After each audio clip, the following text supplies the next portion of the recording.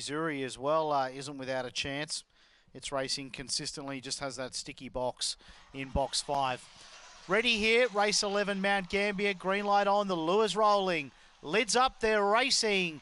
And away quickly in the centre was Tipping Woody, but quickly as they sort their order out, Zippy Zuru zipped off to an early lead. See Me Shine was in second, then back in third, Chatty Gary. Around it came Peaks Gold, Bold Harrow. Then Tipping Woody as the rain starts to come down. Zippy Zuru, the leader from See Me Shine. See Me Shine back to the inside. See Me Shine, Zipping Zuru. See Me Shine. See Me Shine beat Zippy Zuri. Then out wide, Chatty Gary behind them, Peaks Gold. Bold Harrow and unfortunately tipping Woody. Something's gone amiss with it past the post. Well, I reckon the inside he has just got up the one. Yep. One defeating the five. And we just wait on the minor placings here. One's up in the frame in a time of 23-22.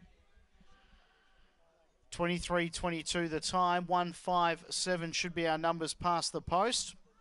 See me shine for Dean Fennell. Defeating the five, Zippy Zuri for Dave Peckham. And the sevens run third, Chatty Gary for Kevin Ashton with the eight,